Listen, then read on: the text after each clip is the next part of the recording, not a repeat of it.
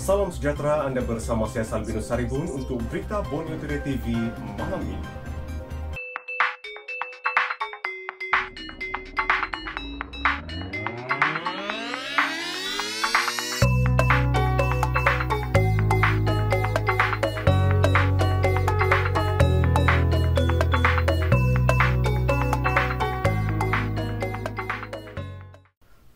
Sabah tidak menghalang operasi premis perjudian yang berlesen.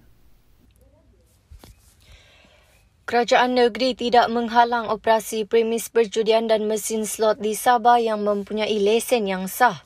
Menteri Kerajaan Tempatan dan Perumahan Datuk Seri Panglima Masidi Manjun berkata, pengeluaran lesen operasi perjudian dikeluarkan oleh Kerajaan Persekutuan.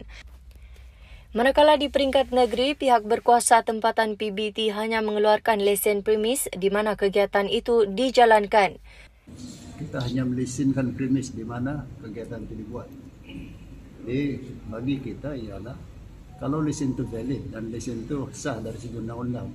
Jadi saya fikir uh, bukan tanggungjawab kita untuk menghalang apa ini orang kata urusan lesen tersebut lah.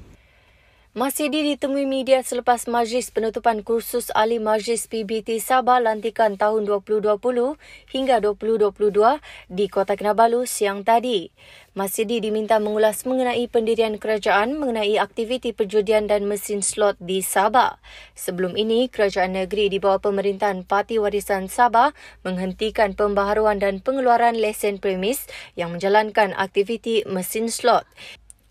Ia sebagai langkah membendung aktiviti perjudian di negeri ini. Jabatan Kerja Raya JKR Sabah akan mengambil tindakan segera bagi membaiki jambatan runtuh di Kampung Tahubang, Ranau. Timbalan Ketua Menteri merangkap Menteri Kerja Raya Datuk Seri Bung Mokhtar Radin berkata beliau telah menerima laporan dari JKR Ranau mengenai kejadian itu dan mereka sudah turun padang bagi memantau dan memberikan laporan terperinci mengenai kerosakan yang dialami. Beliau berkata, dalam kejadian Isnin lalu itu, sebuah jambatan konkrit merentasi sungai Tahubang di Ranau runtuh ekoran hakisan pada penampan jambatan tersebut. Berikutan itu, ratusan penduduk terjejas laluan perhubungan terutama dari kampung Kenipir Gana ke Gana Gaur serta kampung di sekitarnya. Menurutnya, kerja membaik pulih ini akan menggunakan peruntukan kecemasan. Bung berkata, satu jalan alternatif akan dibuat sementara menunggu proses membaiki jambatan baru siap dilaksanakan. Surat peletakan jawatan adun sebatik diserah kepada Speaker Dun Sabah. Surat peletakan jawatan yang ditandatangani Ahli Dewan Undangan Negeri Adun Sebatik, Hasan Egani Pengiran Amir telah diserahkan kepada Speaker Dewan Undangan Negeri Dun Sabah, Datuk Kazim M. Yahya untuk dipertimbangkan supaya kerusi Dun itu dikosongkan. Surat itu diserahkan Setiausaha Agung Parti Warisan Sabah Warisan Datuk Loreto S. Padua di Pejabat Dun Sabah di Kota Kinabalu 12.15 tengah hari tadi. Ia susulan bukti video Hasan berikrar dan menandatangani surat itu sebelum menjadi wakil rakyat pada pilihan raya negeri PRN Sabah September lalu. Kandungan ikrar itu menyebut jika beliau mengkhianati parti warisan dengan menyertai parti politik lain atau meninggalkan parti sebagai adun bebas, beliau akan meletak jawatan sebagai adun. Bahawa saya, Hasan E. Gani Pangeran Amir, nomor kad pengenalan 700222-125499 sebagai ahli parti warisan Sabah dan juga sebagai calon yang diwatikahkan oleh Parti Warisan Sabah bagi Dewan Undangan Negeri Sabah N73 Sebatik untuk pilihan raya negeri Sabah ke-16 dengan ini berikrar di hadapan Tuhan atau Allah dan rakyat Sabah. Saya akan setia kepada Parti Warisan Sabah jika saya terpilih sebagai ahli Dewan Undangan Negeri Sabah seperti dinyatakan di atas dan kekal setia sehingga pembubaran Dewan Undangan Negeri Sabah.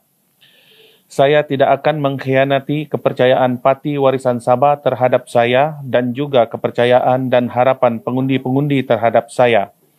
Sekiranya saya memilih untuk menyertai parti politik yang lain ataupun mengisytiharkan kesetiaan saya kepada parti politik yang lain ataupun mengisytiharkan diri saya sebagai bebas sebelum atau selepas persumpahan masuk sebagai ahli Dewan Undangan Negeri Sabah sehingga pembubaran Dewan Undangan Negeri Sabah ataupun saya dipecat atau diberhentikan sebagai ahli Parti Warisan Sabah, saya akan meletak jawatan saya sebagai ahli Dewan Undangan Negeri Sabah. Dan untuk menunjukkan keikhlasan saya, saya dengan ini menandatangani surat perletakan jawatan saya yang akan dikemukakan kepada Speaker Dewan Undangan Negeri Sabah dan Tuan Yang Terutama di Pertuan Negeri Sabah jika saya pecah ikrar kesetiaan saya ini. Saya membuat ikrar ini pada hari bertarik 10 hari bulan September 2020. Bagaimanapun, Hasan Egani pengiran Amir dalam muat naik terbaru di Facebook berkata, sumpah yang dilafazkannya itu adalah tidak sah kerana dibuat secara terpaksa.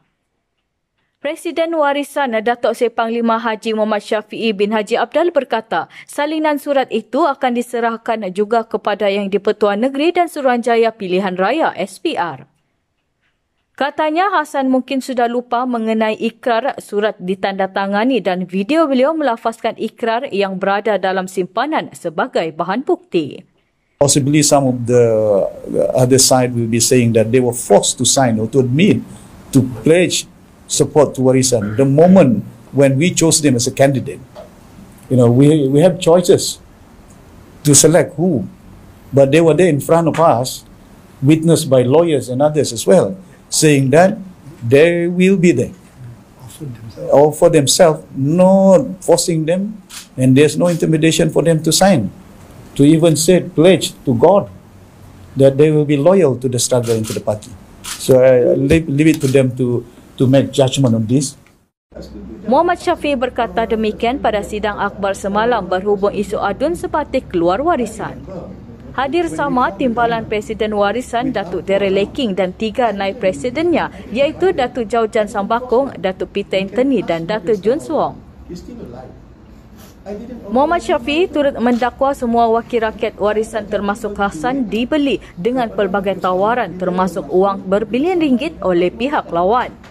Kita kesal ya dalam keadaan pada hari ini seperti yang saya sebutkan hampir 700 ribu menganggur rakyat yang ada rakyat di merata tempat ya yang berhadapan dengan uh, pendapatan yang langsung tidak terjamin makanan tidak cukup duit tidak cukup. Tapi bagi kerajaan yang ada pada hari ini beli adun beli MP cukup duit. Where are we heading for? Hasan sebelum ini dilaporkan keluar daripada warisan dan menyatakan sokongan kepada kerajaan gabungan rakyat Sabah GRS. Tindakan itu dibuat selepas beliau mendakwa duka cita dengan kepimpinan parti yang masih mahu berpolitik ketika rakyat sedang berdepan dengan kesukaran akibat COVID-19. Ahli Parlimen Putatan Awang Husaini sehari-hari ini menafikan sekeras-kerasnya dakwaan kononnya beliau akan meninggalkan Parti Keadilan Rakyat PKR. Tuduhan beliau akan melompat parti itu katanya tidak berasas dan hanya bertujuan untuk memburuk-burukan nama baiknya. Sehubungan itu, beliau meminta semua ahli PKR Sabah khususnya di kawasan Putatan tidak mempercayai tuduhan berkenaan. Menurutnya, tuduhan berkenaan hanya bertujuan mahu memecah belahkan parti. Beliau menasihatkan orang ramai agar tidak mempercayainya kerana itu hanya tuduhan semata-mata.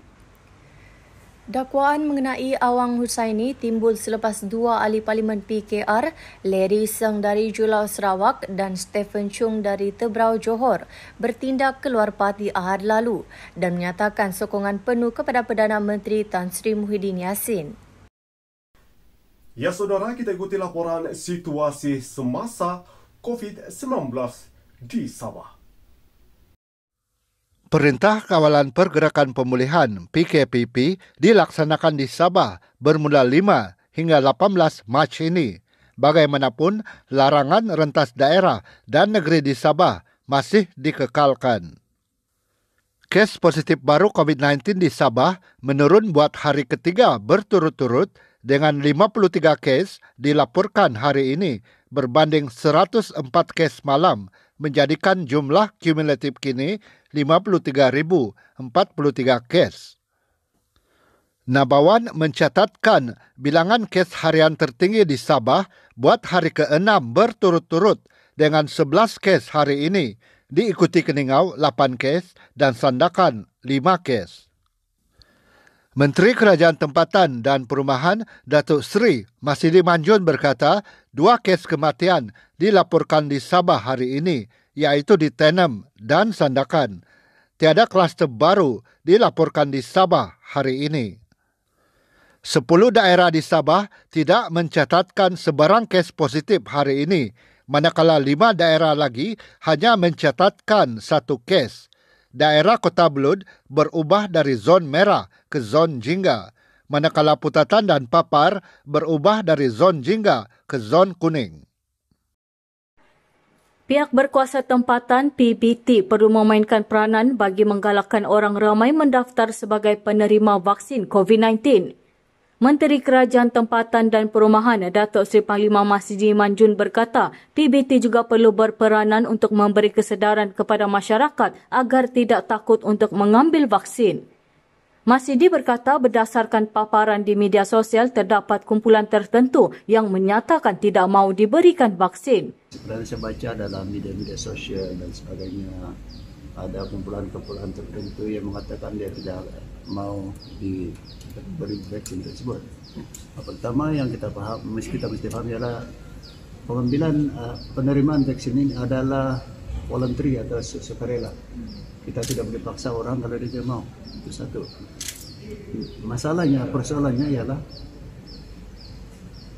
tidak ada yang selamat kecuali kita semua selamat masih menyempurnakan majlis penutupan kursus ahli majlis PBT Sabah lantikan tahun 2020 hingga 2022 di Kota Kinabalu siang tadi. Aktiviti pendakian ke puncak Gunung Kinabalu yang ditangguhkan sejak 13 Januari lalu akan dibenarkan semula Jumaat ini dengan had pendakian seramai 100 orang sehari. Lembaga Pemegang Amanah Taman-Taman Sabah memaklumkan pendaki dikehendaki menjalani ujian saringan COVID-19 tiga hari sebelum pendakian. Hanya pendaki dengan keputusan negatif dibenarkan mendaki.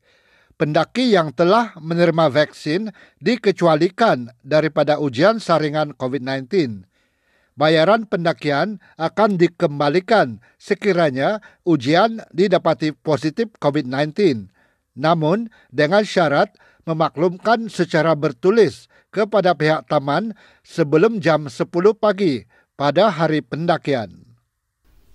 Ini pula kisah pilu seorang warga emas yang terkandas lebih 30 tahun di negeri orang.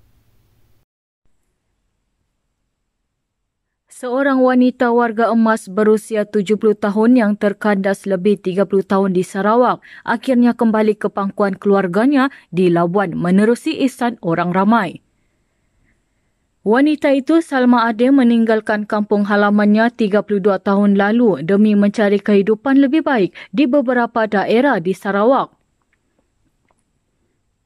Namun nasib tidak menyebelahinya kerana selepas itu dia terpaksa hidup merempal.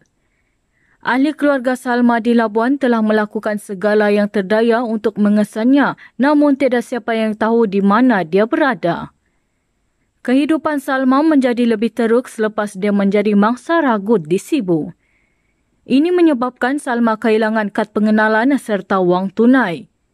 Semasa di Sibu, Salma bekerja dengan seorang penjual di sebuah pasar dan mempunyai tempat untuk berteduh. Namun selepas majikan yang dipanggil Haja meninggal dunia, Salma kehilangan tempat tinggal dan terpaksa hidup merempat. Demi meneruskan kehidupan, Salma kemudian membantu penjual sayur di pasar kering serta tidur di kaki lima setiap hari selama lebih 20 tahun. Pada 8 Januari lalu, Salma telah dibawa ke Hospital Sibu untuk rawatan selepas ditemukan dalam keadaan lemah dan tidak bermaya oleh seorang insan yang baik hati. Media kemudian menyiarkan kemelut hidup warga emas itu dan berjaya menjejaki anak saudara lelakinya, Zamain Main, di Labuan. Zamain kemudian melakukan usaha untuk membawa Salma pulang ke Labuan namun menemui jalan buntu susulan sekatan pergerakan rentas negeri akibat penularan pandemik COVID-19. Bagaimanapun, sebuah badan bukan kerajaan, Persatuan Amal Kebajikan Insan Sarawak serta Jabatan Kebajikan di Sibu dan Lawas meneruskan usaha untuk menghantar Salma pulang ke pangkuan keluarga. Salma akhirnya bertemu semula dengan anak perempuannya Noreda Saman 47. Noreda berkata ketika berpisah dengan ibunya yang berhijrah ke Sarawak untuk mencari rezeki, dia baru berusia 15 tahun. Pengurusi Jawatan Kuasa Pengurusan Bencana Negara Labuan, Rituan Ismail turut mengucapkan terima kasih kepada semua pihak yang terlibat dalam usaha itu. Mereka termasuk pasukan perubatan dari Jabatan Bomba dan Penyelamat, Agensi Penguatkuasaan Maritim Malaysia dan Polis Marin Labuan. Sekian berita Borneo TV malam ini. Saya Salvinus Saripus.